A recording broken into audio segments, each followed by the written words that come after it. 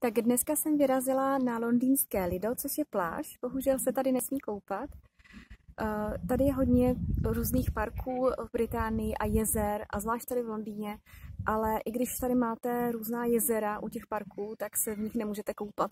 A tady to Lido, i když to je přímo označené jako Lido, naproti je dokonce taková písečná pláž, eh, kde se i děti můžou stavět eh, z písku, hrady a podobně, ale nesmí se tam koupat. Nikdo se prostě v tomhle krásném jezeře nesmí koupat, takže, ale můžete chodit kolem, dělat si tu procházku, dívat se na zvěř, zvířata, které tady žijou, rostliny zkoumat, všechno můžete, jenom se nesmíte koupat, což je peklo, protože jako je docela teplo, dneska je kolem 27 stupňů i tady.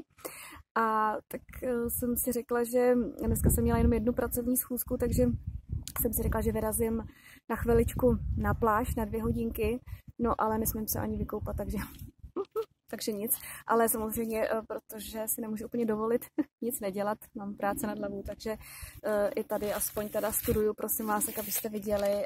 Jestli mi něco tady kazí, prosím vás, eh, výhled na to moře, totiž na to jezero, tak je to tady, jak si čtu, prosím vás, tady pan Juncker a jak si nová posila. Ale zase jsem ráda, že, že se dostala do vedení, nebo dá se říct, do vedoucích pozic, že tam jsou ženy v Unii, to je hezké. Lepší by bylo, kdyby žádná Unie nebyla.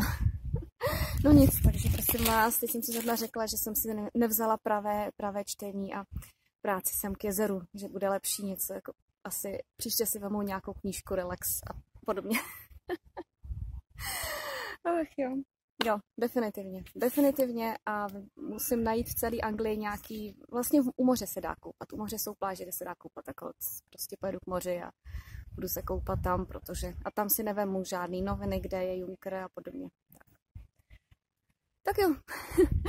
Takže moje rada vám, prosím vás, ať jste, kde jste u moře, neberte si sebou Junkra. na obrázku. Tak to je takový jenom lehčí letní video ode mě, prosím vás. Další samozřejmě video už bude takové čistě politické zase, nebo eh, mediální a podobně.